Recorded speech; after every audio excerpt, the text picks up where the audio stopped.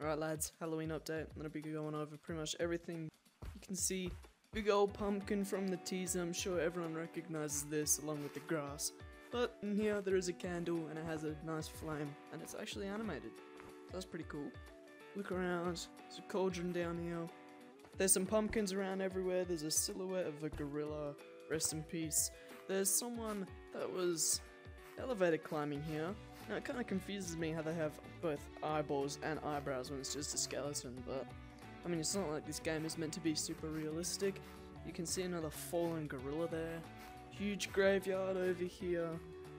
Uh, over here, big old gorilla. This is not the normal gorilla.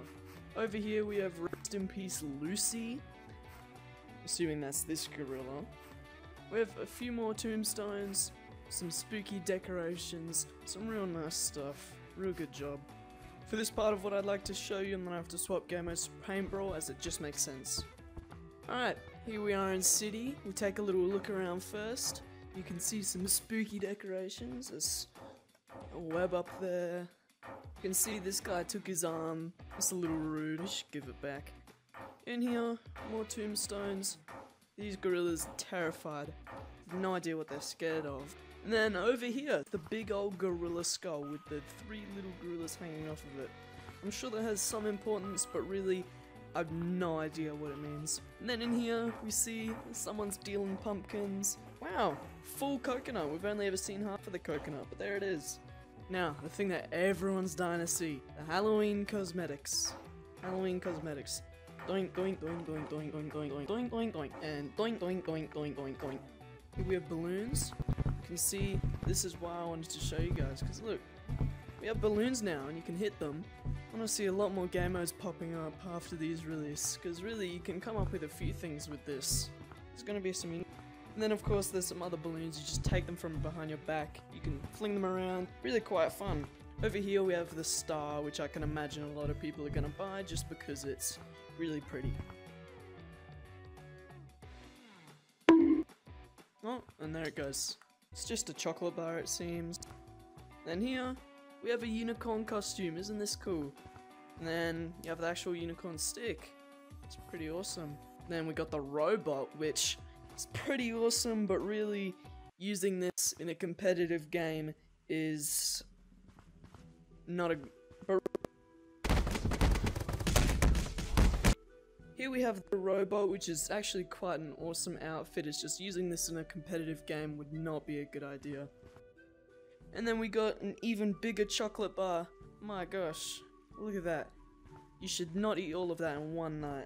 And here we have the clown outfit, which I think people will find interesting because there was a pre-existing clown outfit, but this one just is kind of HD version, I guess. Believe it or not, there were actually some cosmetics I couldn't fit on, so I just went back and selected them again. Here we have Spooky Pumpkin. I'm sure a lot of people will be buying this along with this one as they're just pretty cool cosmetics. This one, Cowboy. Also pretty amazing. They've done a brilliant job with this. Ginormous hat. It's pretty cool. There's a gorilla badge. Really nice artwork. And then the big old googly eyes. Look at that. They bubble. That's pretty cool. Oh, and then these. I remember having a pair of these when I was younger. Look at that. And then to finish it off, we have this kind of princess outfit. Kind of reminds me of Wonder Woman. It's pretty cool. I can imagine people using these along with the tiara. Alright, let's let's check out mountains. I have a feeling that mountains will look pretty cool. I've been told that it looks nice during night time, so let's hope that it's nighttime right now. And why would you know, it is indeed nighttime. It's a beautiful red.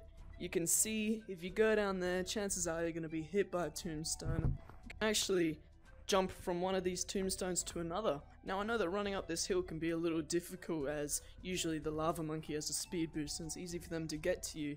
But with these tombstones I feel like it will make it a little easier for people to escape from those situations.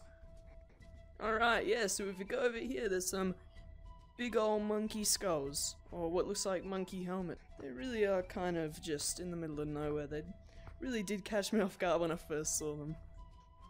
Alright, so I'd rather climb up here just to give you a better look at it. You can see kind of has a bone mohawk. It's pretty interesting.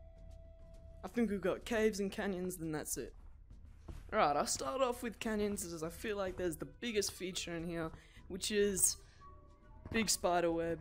You can see some more spider webs around. One of them big old green cauldrons. I'm pretty sure one of them is in every map. If we go up here, well, awesome climbing skills from many months ago. If we look over here in the houses, that just I just spotted something I actually hadn't seen earlier. So let's use my awesome parkour skills and my gosh. Alright, let's make our way over to there where I can see a skeleton kind of just lying there. Come on in, take a closer look at that. Alright, we got some candles and oh my gosh. Really quite a creepy area down here in the purple area. I feel like if I stand in that circle, something terrible is gonna happen. I feel like all of these items will be useful and competitive, especially in areas like canyons and mountains, where there is really isn't too many obstacles to dodge and weave off of. But I feel like this will add a, you know, some more competitive fun. And oh my gosh, big glowing green skull. That's that's pretty ominous. And of course, the cauldron that is in every map. Right down here. Ooh, I can already imagine this is gonna be pretty scary. There's some more graves, a lot, a lot of graves. Wonder how they got this many. And over here we have my favorite thing in the whole update, the Vroom Monkey.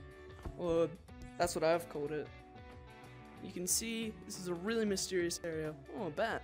I can imagine someone sprinting full speed towards me from here. And back here I'm pretty sure there's another cauldron. Yep. There it is, along with a spooky face. And then over here is interesting. You can see behind these crates a monkey has been crushed. How sad. And here is a skeleton cult. My gosh, wonder who he is.